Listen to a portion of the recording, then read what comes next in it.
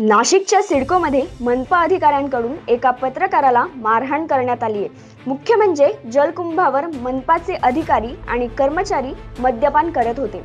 हे सिडको येथील पत्रकार निशिकांत पाटील यांच्या लक्षात आले आणि त्यावेळेस हा प्रकार घडलाय. तेरा जानेवारी बुधवार रोजी रात्री सव्वा अकराच्या सुमारास आपल्या घरी जात असताना हा प्रकार घडल्याची माहिती पत्रकार निशिकांत पाटील यांनी दिली. इथे मी थोडं घराचं सामान घेण्यासाठी गेलो होतो. पण दरम्यान ते काही मला भेटलं नाही आणि रिटर्न येत असताना मी पातडी फाटा येथील जलकुंभाच्या इथे जात असताना मला थोडा मधून गोंधळ ऐकू आला.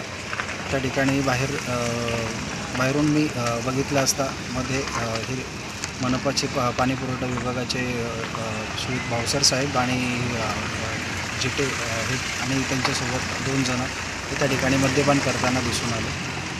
माझ्या हातात मोबाईल होता आणि त्यावेळेस मी पत्रकार असल्यामुळे ते मला ओळखत पण होते सगळे लोक.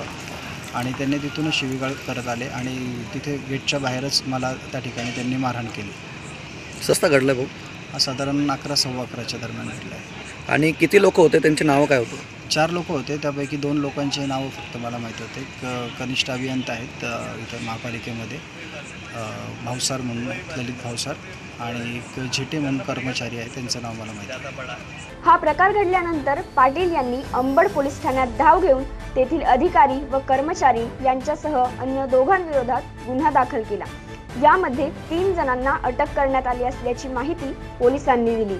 पत्रकारांवर अशा प्रकारचे हल्ले करणे अत्यंत चुकीचे असून या प्रकाराबाबत वरिष्ठ अधिकाऱ्यांनी सखोल चौकशी करावी अशी मागणी होत आहे.